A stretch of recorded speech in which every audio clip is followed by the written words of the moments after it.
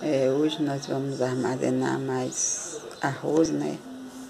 Porque Nossa Senhora está pedindo para armazenar arroz, feijão, alimentos não perecíveis, né? Carne de sol, é, enlatados, lenços umedecidos. Então eu, vou, eu estou assim providenciando aos poucos e tem as uvas abençoadas que eu tenho que comprar ainda, né? E ela disse que, que a uva, inclusive, é um sacramental e que nos, nos dias da tribulação da fome, então uma uva vai valer uma refeição o dia todo. E a, a uva abençoada tem que comprar a uva, levar para o padre abençoar e colocar as uvas, né? É, parece que é, primeiro ela tinha falado que, que colocava né, no, no, no vidro e coloca, colocava me, é, é,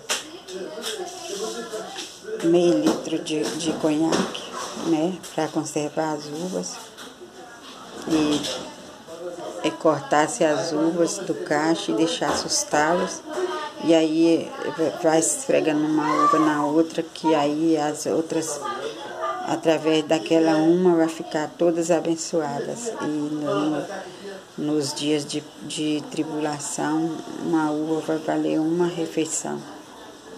E parece que agora à noite, no vídeo que eu assisti, ela pede para colocar água com açúcar por causa das crianças, né? E tem que ser aquelas uvas preta.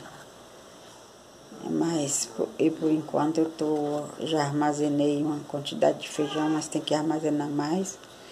E agora eu vou armazenar arroz, tá bom?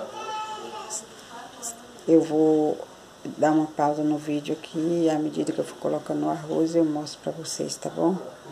Não se esqueça, se inscreve no canal, ativa o sininho e deixe seu like.